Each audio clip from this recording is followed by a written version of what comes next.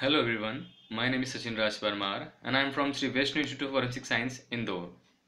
So in this video, today we are going to discuss about facial thermography.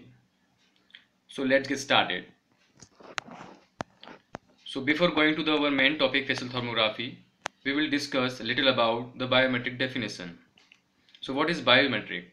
So it is defined as the automated method of identifying and authentication of an individual based on his or her physiological and behavioral characteristics. And biometric is a technology used for measuring and analyzing a person's unique characteristics. And there are two types of biometric, which is behavioral and physical biometric characteristics. And behavioral biometric is generally used for verification, and while physiological biometric is generally used for uh, identification and verification so this is the biometric basic definitions and all about. So let's next move on to the next slide. So here's the facial thermography slide. So facial thermography uses human blood vessels and it detects heat patterns created by the branching of blood vessels emitted from the skin. And these patterns called thermograms and are highly distinctive. And even some characteristics twins have a different thermogram. And it was developed in mid 1990 by a Francis Prokoski and thermography works much like a facial recognition and except that an infrared camera is used to capture the images. So this is the basic of uh, facial thermography here. So thermography makes use of infrared spectral band of the electromagnetic spectrum. So it involves uh, there are four type of IR radiations near infrared, middle infrared, far infrared and extreme infrared. So infrared video cameras are a passive, emits no energy but merely collect the thermal radiation emitted from the surface of human faces. And IR cameras don't see temperature and the cameras capture the radiosity of the target it is viewing. So what is radiosity?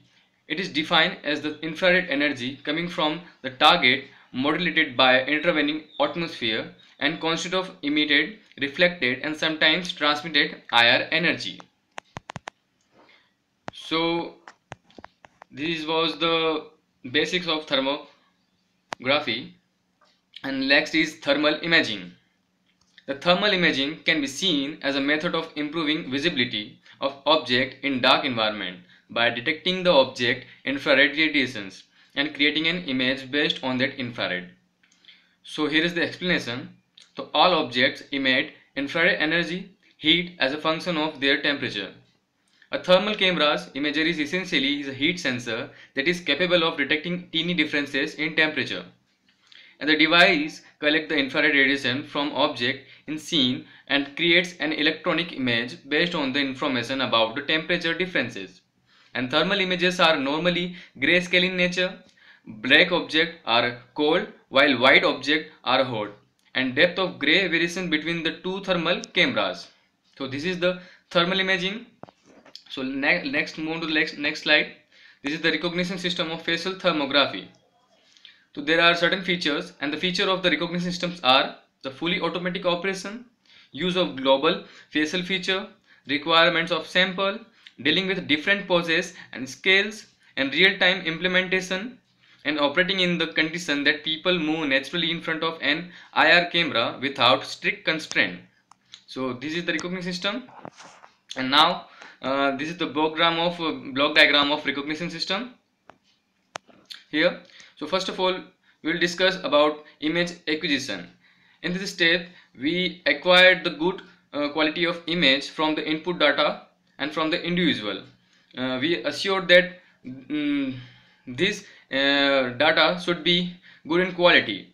And in second step the quality evolution. The quality of data evaluate by this step and the next third step is face detection. In this step we detect the facial characteristics of individual.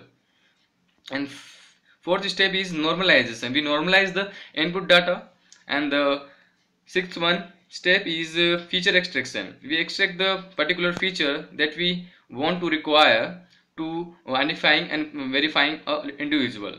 And last one is a classifier which we classify the characteristics and uh, uh, and compare with a template. So this, this is the recognition system. And then let's move to the next slide. This is the working module of thermography.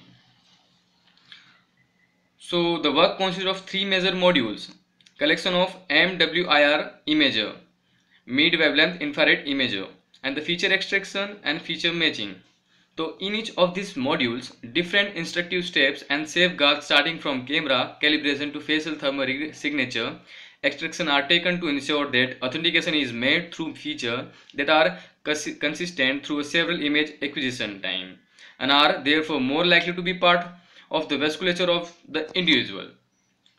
So uh, next is the modules diagram, the block diagram of working module. You can see this so first, uh, in first step, the data collection. In data collection step, uh, we use uh, Merlin MWIR camera and in this in second step we recruited 13 volunteers as a sample and capture the frontal image of each subject. And next step is thermal infrared image registration. We use the FLIRT tool for image registration. We are using uh, FLIRT tool for image registration and register the last three thermal image for fit thermal image. And the third step is generation of thermal signature. We generate the signature. So in these steps there are four four uh, segments. We uh, first of all we about talk about face segmentation. In this uh, we segment the face their features. And uh, second is nose removal. We removal we remove the unnecessary noise from the background and image morphology and last one is for post processing and next is the thermal infrared template generation. In this we generate a template. Uh, so in this uh, we add a force signature and diffuse using a anisotropic diffusion filter. There is a filter diffusion filter and third one is the skeletonize to obtain template we skeletonize the particular image uh, to obtain template. And last one is template and signature matching. We are matching the template and signature. So in this uh, we register signature to template using FLIRT tool and use a distance based similarity measure to match registered signature to template and template to template. So friend this is the working model of facial thermography. So now uh, we are discussing about the application of facial thermography so what is the applications? So there are some important applications which are discussed below. So thermography is particularly useful to military and other users of surveillance cameras and condition monitoring, digital infrared thermal imaging in healthcare and medical imaging, infrared mammography, night vision and UV surveillance, stereo vision, process control, and uh, non-restricting testing, surveillance and security, law enforcement, and uh, and defense and chemical imaging volcanology in face recognition system thermal images are used because face detection location and segmentation are easier when using thermal images and work even in dark total darkness and useful for detecting disguiser and nearly invariant to illumination changes and facial expression. So this is the application. So let's move to the next slide. Here is the disadvantages of facial thermography so first we discussed uh, identical twins. Uh, uh, identical twins have some different thermal patterns and there are exceptions too because they are different from uh, each other. Exhale and inhale effect. Uh, high temporal frequency thermal variation is associated with the breathing and the nose and mouth appears cooler as the subject is inhaling and warmer as he and she exhale and sees since exhaled air is at core body temperature and which is several degree warmer than skin temperature. So third point is the uh, metabolism effect.